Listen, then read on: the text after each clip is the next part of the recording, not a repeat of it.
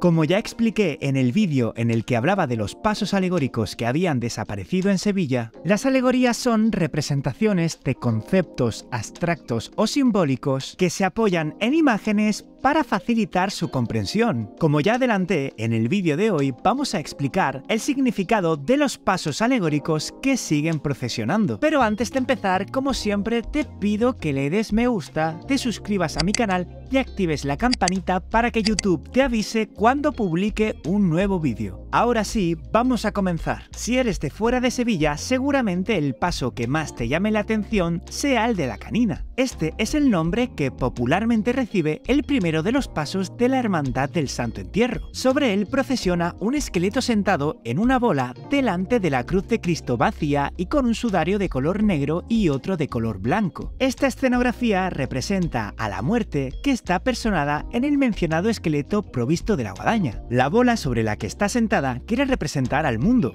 y sobre ella está reptando una serpiente con la manzana del veneno original en la boca. El antídoto contra este veneno queda representado en la cruz desnuda, así como en los sudarios. Estos llevan inscrita la leyenda Mors Mortem Superavit, que traducido del latín quiere decir Cristo desterró su muerte con nuestra muerte. Esta frase representa que la resurrección del Señor logró redimir al mundo, perdonó el pecado y derrotó al demonio. La composición del misterio data del 20 de marzo de 1693 y se debe al ingenio del escultor Antonio Cardoso de Quirós. Con anterioridad a esta fecha, su iconografía variaba al depender de la fantasía del artista a quien se le encomendaba aquel año el montaje del paso y la distribución de los distintos jeroglíficos. Vamos a hablar ahora del sagrado decreto de la Hermandad de la Trinidad. Esta es una de las más antiguas de la ciudad de Sevilla y procesiona con tres pasos, el del Sagrado Decreto, el Cristo de las Cinco Llagas y la Virgen de la Esperanza. Pero, ¿cuál es el significado de este portentoso paso? Pues bien, desde un punto de vista cronológico e iconográfico, el Sagrado Decreto sería el primer misterio de la Semana Santa, ya que en él se representa la decisión de Dios de enviar a su Hijo a la tierra para sacrificarse por la humanidad. A la derecha del Padre, Dios Hijo porta la cruz como símbolo del sacrificio que está tomando en ese momento. Una paloma con las alas abiertas sobrevuela a ambos, representando al Espíritu Santo y dando sentido a la Santísima Trinidad.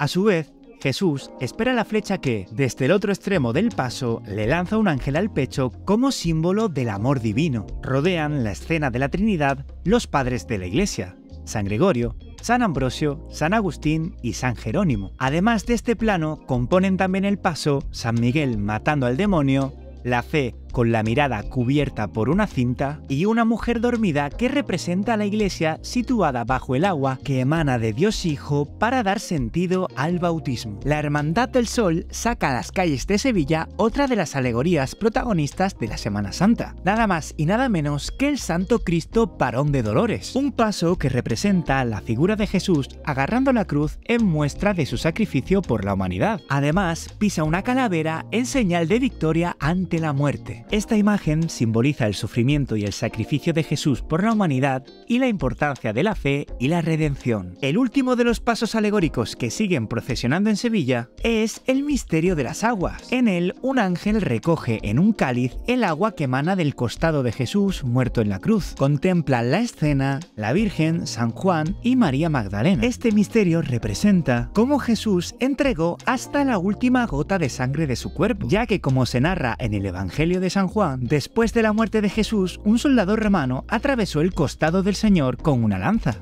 Perforó tanto los pulmones como el corazón y salió sangre y agua de su costado. Saliendo de Sevilla capital, encontramos otras representaciones de la canina. De esta forma, el paso del triunfo de la Santa Cruz está presente en localidades como Alcalá del Río, Alcalá de Guadairía o Osuna. Y saliendo de Andalucía, me gustaría destacar un paso alegórico de la Semana Santa de Murcia. Me refiero al titular de la Hermandad de los Colorados, el Cristo de la Sangre, obra del imaginero Nicolás de Bussy realizada en 1693. Y aunque pueda parecer un crucificado, lo cierto es que en realidad es una representación del varón de Dolores siguiendo la descripción del fraile capuchino San Buenaventura. Este representa al lagar místico, sus pies se han desprendido de la cruz pisando así la sangre que brota de sus llagas, dando lugar al vino litúrgico que se derrama para la redención del mundo. Contaba el grupo escultórico con cinco angelitos que recogían en cálices la preciosísima sangre. Estos angelitos se perdieron en los destrozos de la guerra civil,